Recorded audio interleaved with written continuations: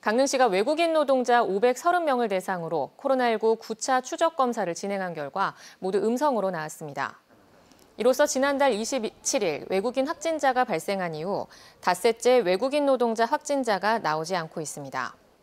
한편 지난달 1일 이후 강릉에서 발생한 외국인 확진자는 모두 109명으로 집계됐습니다.